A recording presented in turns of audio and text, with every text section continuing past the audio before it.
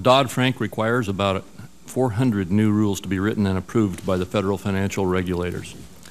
And to date, slightly more than 50% of these rules have been finalized, and nearly 25% are still in the proposed stage. The remaining 25% are yet to be written. With some 220 rulemakings finalized, we still have no idea what the cumulative cost of Dodd-Frank is or will be.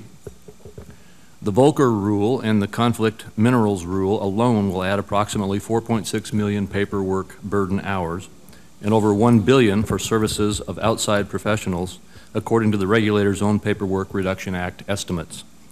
And that is just for two of the 220 rules finalized.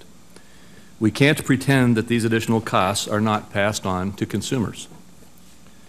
Without a cumulative analysis of the true costs and burdens of the rules, we cannot understand their overall impact on the regulated entities, consumers, and the markets.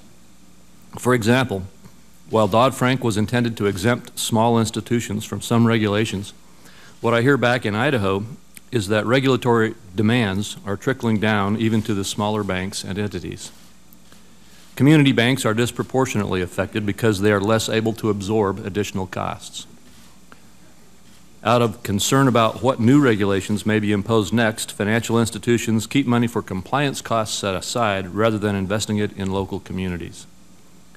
We can and should make common sense changes to lessen the regulatory burden. In past hearings, the regulators have supported several Dodd-Frank fixes, including the end-user fix, the swaps push-out rule, and giving the Fed flexibility to tailor the capital standards it places on insurance companies.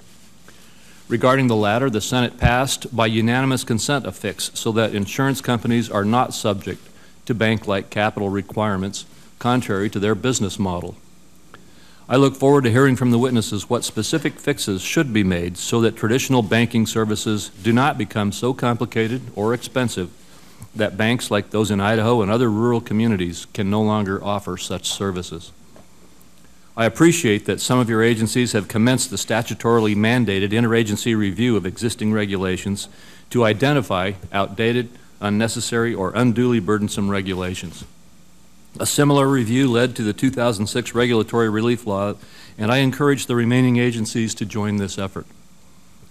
I urge all of you to make this review a priority to set up outreach meetings and with community banks and others, and to provide a list of recommendations to Congress. For example, several of our witnesses have discussed eliminating a paper version of the annual privacy notice, a measure that has passed the House by a voice vote and currently has more than 70 co-sponsors in the Senate. In addition to Dodd-Frank regulatory mandates, the law also established the Financial Stability Oversight Council. At the July FSOC hearing, I reiterated my concerns to Secretary Lew about the lack of transparency of FSOC's designation process. Last week's action on FSOC by, by, by FSOC on MetLife only reinforces those concerns and threatens to disrupt a carefully forged regulatory balance for an industry that has been traditionally under the purview of state regulators. The U.S. financial system and capital markets cannot remain the preferred destination for investors throughout the world if our regulators operate under a cloak of secrecy. Secretary Lew stated that each of the designated non-bank SIFIs was given detailed explanations as to why they were designated. But this information was provided only after the designations were made. This is not how our regulatory framework should operate. I urge you to publish indicator-based SIFI designation criteria in the Federal Register for public comment and propose to, and I urge you to impose a moratorium on new designations until there are objective metrics and increased transparency. Only then can we restore accountability to the FSOC designation process. All of your agencies should recognize the benefit in having an open and transparent regulatory process. Transparency does not weaken rulemakings, it gives them much needed legitimacy. Mr. Chairman, the issues we're discussing today are very important, especially as they relate to our smaller financial institutions.